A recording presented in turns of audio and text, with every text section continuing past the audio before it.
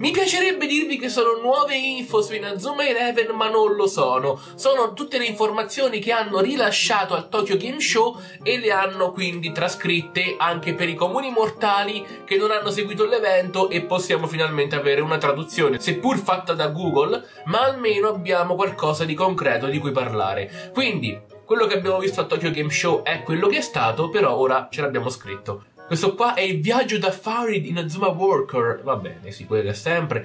Poi ci ripete che vuole il gioco che duri 5 anni, anche noi vogliamo che duri più possibile. Sfide all'infinito parte 1. Collezionali tutti, più di 4500 giocatori. Ora, collezionali tutti. No, perché il numero massimo di giocatori è stato 200. Però voleva superare il limite. Tu mi stai dicendo che io posso veramente avere 4500 giocatori? Puoi mantenere tutti i giocatori che collezioni, quindi non devo lasciarli in qualche maniera tipo ne ho, tu- ho tutti quanti gli slot completi, devo mandarne via qualcuno? Ragazzi, 4500 giocatori sono davvero tanti, quindi bomba. Poi abbiamo una volta ottenuta non è finita, che vuol dire una volta ottenuta? A quanto pare Nazuma Eleven avrà anche, anche elementi hack and slash. Cos'è un hack and slash? Quando vai nel dungeon, ammazzi tutto quello che trovi e prendi gli oggetti più rari. La stessa cosa con Inazuma Eleven. Quando prendi un personaggio non è finita, non lo è. Infatti vale la pena la situazione vale la pena radunare più personaggi. Che significa che ogni giocatore ha un livello di rarità. Non è un gacha, non è un gacha. Quindi, dato che hai elementi H slash, tu vai più volte a conquistare un certo personaggio, più volte lo trovi, più diventa raro. Quindi andiamo da player normale anche se penso che Mark partirà da Legendary Player, visto che è un giocatore leggendario, fino ad arrivare ad una di queste tre hero, non so, sono tutte quante diverse, ma sono hero è uno solo, dipenderà poi magari dal giocatore. Poi ogni giocatore ha abilità uniche che sono chiamate effetti passivi.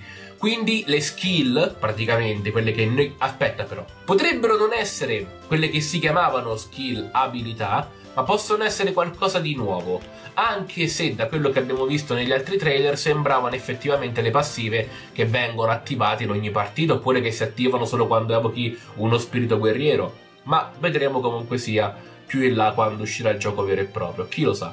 Inoltre abbiamo per la modalità storia e la modalità cronaca una carta giocatore chiamata Spirito. Usandolo, i personaggi che possono essere esplorati quindi reclutati immagino, o combattuti, appariranno sulla mappa, quindi controlla la posizione e vai a trovarli.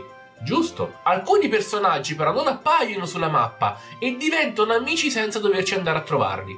Buono. Poi abbiamo la barra del risveglio. In altre parole, puoi accumulare, puoi accumulare la barra del risveglio del giocatore avanzato Endo Mauro, farlo crescere fino a diventare il miglior giocatore Endo, come succedeva in Strikers. Che vuol dire? Vi ricordate in Strikers quando facevate i minigiochi, che c'erano quelle stelline no, che diventavano blu, poi più, più facevate i minigiochi più aumentava la barra?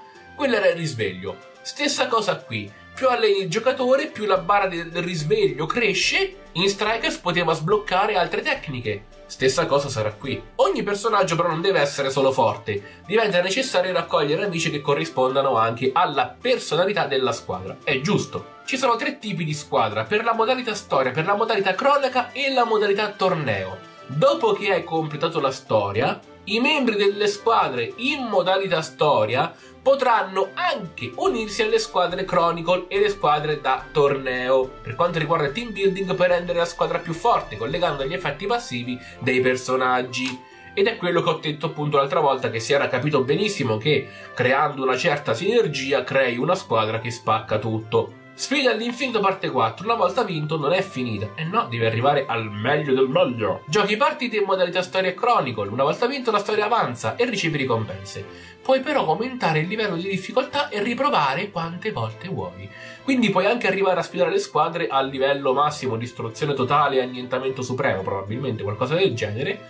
E ogni volta che ripeti le partite, ricevi, puoi, puoi guadagnare, non ricevi sicuramente, puoi ricevere gettoni eroi e scambiarli con rari libri ed equipaggiamenti segreti. I libri sarebbero i libri delle super tecniche. Poi hanno finalmente aggiunto la modalità online. Sarà una classifica basata sulle prestazioni e si terrà un torneo Victory Road per i migliori giocatori per determinare il numero 1. I tornei hanno regolamenti come Football Frontier e Holy Road, ma le regole sono leggermente diverse. Ci sono restrizioni sui giocatori che possono giocare e sulle tecniche che possono essere utilizzate. Infatti non potranno essere usati gli spiriti guerrieri. Va benissimo, per, per carità, nel torneo non mi interessa usarli. Ogni torneo durerà tre mesi. Ok, però è ancora in programmazione perché effettivamente non è facile programmare una cosa del genere. Non a, non a, livello tecnico, ma a livello di vita vera, quello intendo. Proprio a organizzarsi con tutti gli orari prestabiliti, devi giocare in certi orari, magari l'altra persona non può, quell'altro non può, un giorno sì, l'altro no, non si trovano mai con gli orari, è molto molto difficile. Inoltre nei tornei avrai una combinazione di 6 giocatori stagionali e 5 o meno giocatori eterni, che praticamente stanno sempre lì in squadra e non se ne vanno mai. Attenz- fate attenzione però che i giocatori stagionali, poi una volta che li hai, non è che se ne vanno, li hai come amici e potrai usarli altre volte nella modalità storia o nella modalità cronaca. Però se vuoi utilizzarlo sempre, lo metti nello slot dei giocatori eterni e sta lì, te lo giochi ogni volta che vuoi, però massimo 5. Non è sbagliato, perché almeno uno non è più forte di tutti, magari uno ha 11 giocatori tutti fissi, no? Che li ha potenziati al massimo, ha, ha una sinergia perfetta nella squadra e vince sempre. Quindi nessuno è superiore agli altri, conta davvero la bravura della persona, contano davvero le skill e non ho il giocatore con, con l'attacco più alto vinco sempre. Molto importante. I giocatori possono essere acquisiti nel gioco e cambieranno a seconda della stagione ogni tre mesi. In altre parole, ogni tre mesi cambi i giocatori. Va benissimo, questo è chiaro. Vogliamo rendere Inazuma Eleven un software che crescerà insieme a tutti coloro che giocheranno. Ci vorrà un po' di tempo per completarlo, ma spero che non deluderà. Quindi attendi. Loro hanno dato un generico 2023 all'inizio, ma poi hanno visto che il gioco si evolveva sempre di più, i fan vogliono sempre un gioco più perfetto e Akirin ha detto ragazzi non ce la facciamo, lo stiamo ancora sviluppando, vogliamo renderlo perfetto qua sicuramente qualche esploit lo troveremo per, per aumentare gli attacchi senza pagare nulla come in Azome Eleven Go Galaxy quindi aspettate un pochino di più. Io sono fiducioso che in Azome Eleven questa volta sia un prodotto davvero eccellente.